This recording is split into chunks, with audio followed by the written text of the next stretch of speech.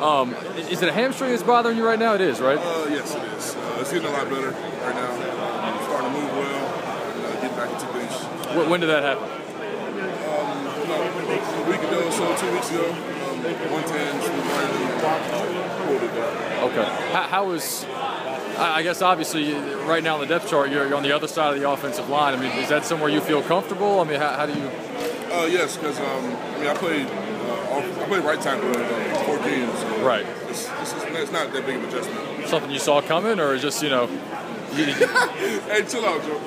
is this something you saw coming, or what? what you know?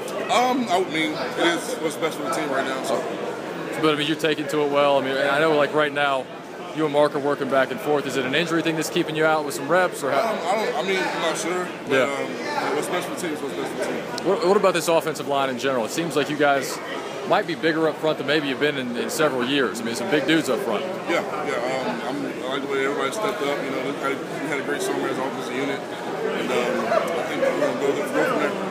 All right, so you were in year one of Jeff Grimes. Now you're in year one of Stacy Searels. Just in your words, the differences between those two guys in terms of approach and coaching style. What's it been like? Oh, it's actually, uh, I mean, Coach Grimes is a great guy. You know, he trusted me as a true freshman. But also, Coach Searels, he's a great coach. Um, everything he does is great.